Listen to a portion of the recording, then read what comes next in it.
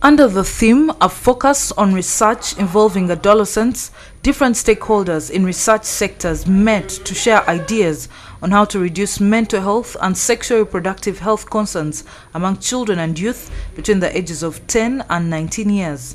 The shocking findings survey done in May 2015 by Kenya Medical Research Institute revealed that 85% of youth between 15 to 24 years are sexually active, 66.1% of females aged 15 to 24 years have had sex.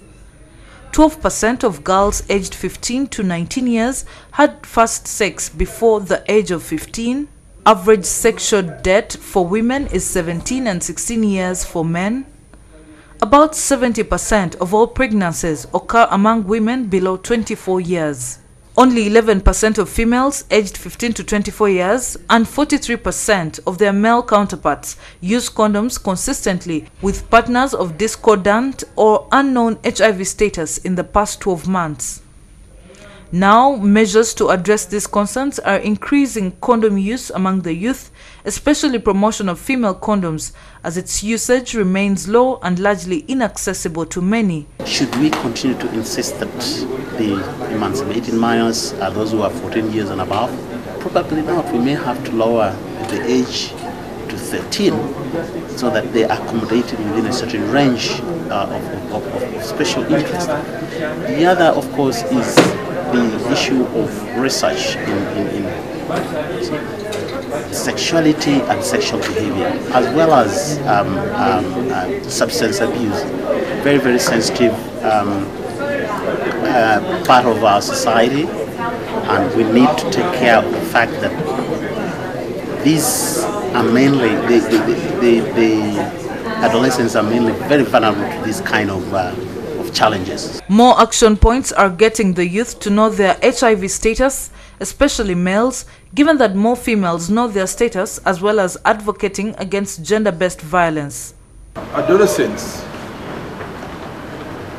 pose special challenges and also face unique challenges as a population.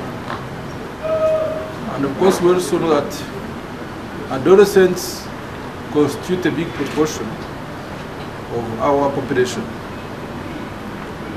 Now, a lot of groups and a lot of researchers are trying to do research amongst adolescents. But the guidelines are not extremely clear, and also the issues of consent are not entirely clear.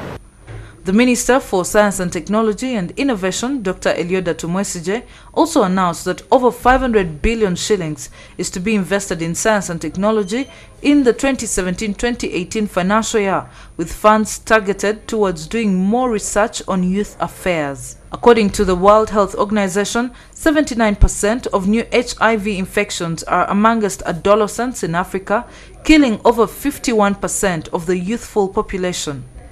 HIV AIDS is a killer disease whose cure has not yet been found. It is therefore important that young people are encouraged in proper sexual habits such as abstinence from sex until marriage, being faithful to one's sexual partner, knowing their HIV status, and always using condoms before having sex, among others. This report was filed by Alosia Satwine for PM Live.